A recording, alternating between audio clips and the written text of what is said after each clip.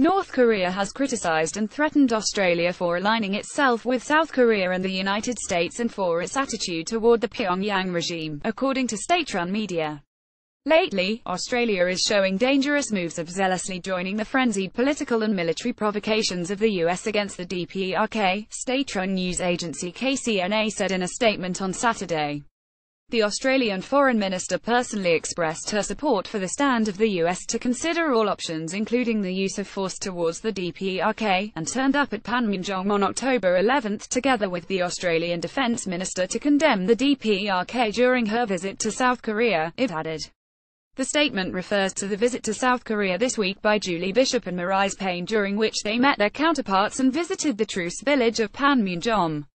Australian Defence Minister Marise Payne, left speaks as Foreign Minister Julie Bishop watches during a press conference with their South Korean counterparts at the Foreign Ministry in Seoul. Photo at Panmunjom is located within the tense demilitarized zone, a 4-kilometer-wide strip that separates the two Koreas, which have technically been at war for more than 65 years.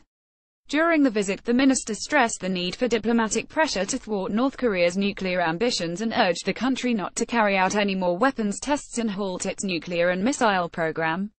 Should Australia continue to follow the US in imposing military, economic and diplomatic pressure upon the DPRK despite our repeated warnings, they will not be able to avoid a disaster, KCNA warned. AAP